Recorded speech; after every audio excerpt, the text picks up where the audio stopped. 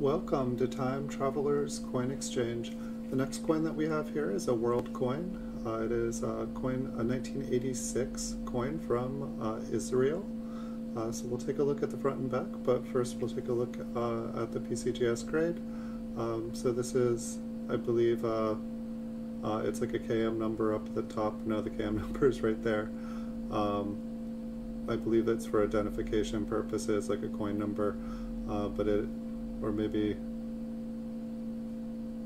maybe that's the year um, go, going before um, before death uh, BC um, so uh, here we have uh, the current year system. We have 1986 uh, um, and it's a 10 AG uh, so this has been graded by PCGS as Proof Like 66 uh, it's from Israel and it looks like it was maybe minted in Piefort um, this is the first uh, coin from Israel I've ever seen, so uh, don't mean to butcher your coins, everyone in the world. Uh, trying to appreciate them, trying to learn something new. Uh, the KM number for this one is uh, P33.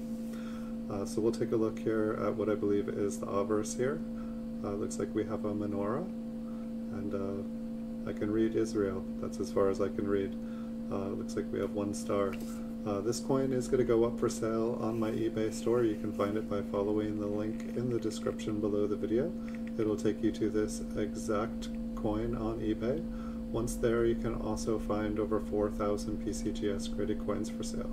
Uh, so I believe the AG, it looks like, uh, stands for Agorat, um, 10 Agorat.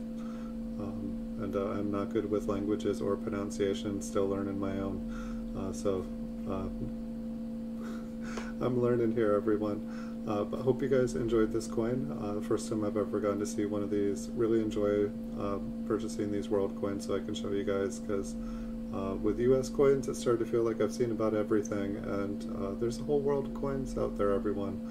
check them out. Um, if you enjoy coins, it's definitely worthwhile. Some beautiful coins.